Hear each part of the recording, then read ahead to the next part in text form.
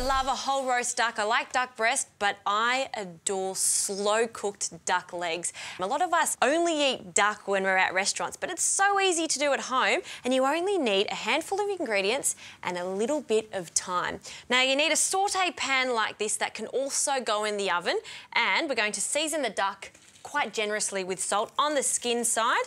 These have come to room temperature and now skin side down, we're going to add them to the pan, no oil required. And you wanna get some really good color on the skin. Not only is it going to give flavour to our slow cooked duck, but it's also going to help render away a lot of the fat. You want to do this for about five to 10 minutes on a medium heat, so not too hot. Allow it to render and then I'm going to turn it over. Now this is the first stage. The second stage is adding some classic veggies like carrots, onions and celery, some herbs just like these ones here. You can also add lots of different spices like star anise.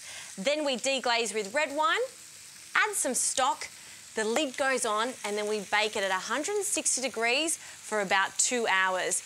Once it's cooked, the meat just falls away from the bone. You're left with a beautiful, rich red wine sauce. It's a perfect way to cook duck.